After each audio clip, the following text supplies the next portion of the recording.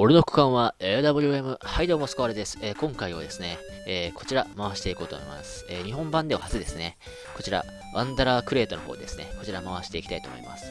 中身はですね、まあ、中国語版のですね、一番最初のガチャと同じですね。まあ、あの、例のスカートが当たりのやつですね。まあ、相変わらずその膝が汚いですね。で、回していきます。よいしょ。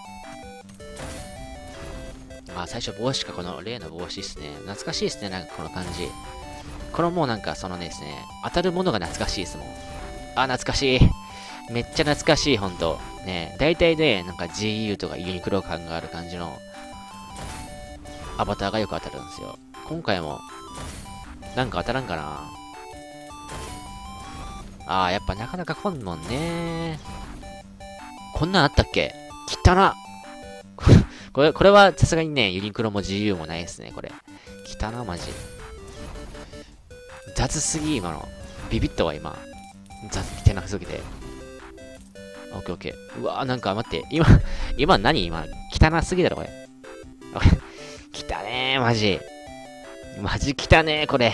やばいね。なんか沼かなんか入った後のね、見た目っすよね。やば。やば。もうやばとしか言えんわ、もう汚すぎて。で、今回も日本版もそうなんですけど、これ、あ、一応ピースなんだ。ピースに分解できるみたいですね。あ、そっかそっか、メダルが課金のやつだもんな。ピースに分解できるみたいですね。まあ、これはやっぱ、ピースを集めておいた方が、まあ、後々使えるんで、これ便利なんですよ。